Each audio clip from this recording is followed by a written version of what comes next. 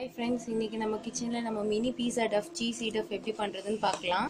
அதுக்கு நான் lukewarm water எடுத்துருக்கேன் friends one by four cup இப்போ இதில் ஒரு ஒரு டீஸ்பூன் நம்ம இன்ஸ்டன்ட் ஈஸ்ட் ஆட் பண்ணிடலாம். இதில் நம்ம ஈஸ்ட்டுக்கு தேவையான சுகர் சுகர் ஆட் பண்ணலாம். நான் நாட்டு சர்க்கரை ஆட் பண்ணுறேன் சுகர் ஆட் பண்ணியாச்சு ஃப்ரெண்ட்ஸ் நல்லா மிக்ஸ் பண்ணி விட்டுட்டு ஒரு டென் மினிட்ஸ் இது நல்லா ஆக்டிவேட் ஆகட்டும். பாருங்கள் ஃப்ரெண்ட்ஸ் நம்மளோட ஈஸ்ட் நல்லா கரைஞ்சிடுச்சு. நல்லா கரைஞ்சிருச்சு. இப்போ நம்ம இதில் நம்ம மாவு ஆட் பண்ணிடலாம் ஃப்ரெண்ட்ஸ் இப்போ இதில் ஒரு கப் நான் கோதுமை மாவு ஆட் பண்ணுறேன் ஃப்ரெண்ட்ஸ் இன்றைக்கி கோதுமையில் தான் நம்ம பீஸா டஃப் பண்ண போகிறோம் இப்போ இதை நல்லா நம்ம மிக்ஸ் பண்ணி விட்டுடலாம். இப்போ இதில் ஒரு டீஸ்பூன் சால்ட் ஆட் பண்ணிடலாம் ஃப்ரெண்ட்ஸ் அப்புறம் சால்ட்டுக்கு அப்புறம் இதில் ஒரு டீஸ்பூன் பட்டர் ஆட் பண்ணிக்கிறேன் ஃப்ரெண்ட்ஸ் இது அவ்வளோத்தையும் நல்லா மிக்ஸ் பண்ணிட்டு வரேன். அவ்வளோதான் ஃப்ரெண்ட்ஸ் நல்லா பிசைஞ்சிட்டேன். இது வந்து காயாமல் இருக்கிறதுக்கு லைட்டாக ஆயில் மட்டும் அப்ளை பண்ணிடலாம். ஆயில் அப்ளை பண்ணிட்டு இது நல்லா புக்குன்னு வீங்கி வர வரைக்கும் நம்ம இதை ரெஸ்ட் எடுக்க வைக்கலாம்.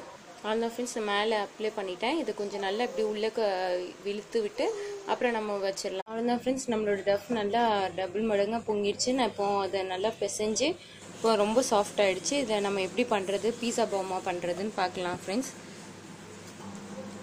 நான் குட்டியாக ஒரு பால் சைஸில் எடுத்திருக்கேன். நம்ம சப்பாத்தி உருட்டுவோம்ல அந்த இதில் நம்ம ஆயில் வச்சு அப்ளை பண்ணிக்கலாம். அப்ளை பண்ணிவிட்டு இதை நம்ம கட்டையால் வளர்க்க வேணாம். சும்மா கையால் இப்படி தட்டி விட்டுடலாம் இப்போ இதில் ஒரே ஒரு தக்காளி ஸ்லைஸ் வச்சுக்கலாம். குட்டியாக ஒரு ஆனியன் ஸ்லைஸ் வச்சுருக்கேன். குட்டி கேப்சிகம் ஸ்லைஸ் வச்சுருக்கேன்.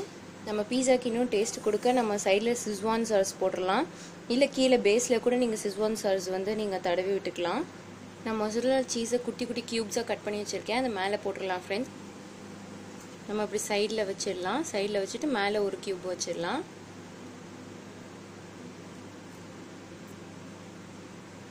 மேலேயும் ஒரு கியூப் வச்சுட்டேன். இப்போ நம்ம இதை ஃபோல்ட் பண்ணிடலாம்.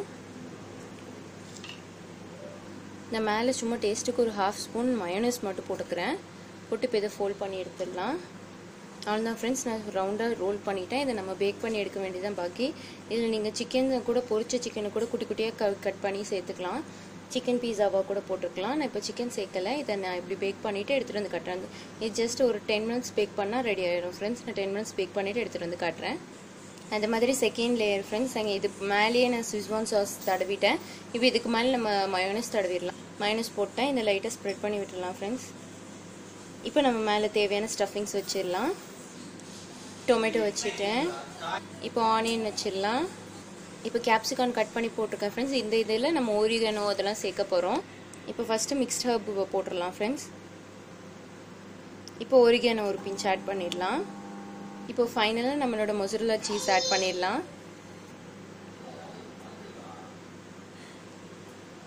இப்போ இதை ஃபோல்ட் பண்ணிடலாம் ஃப்ரெண்ட்ஸ்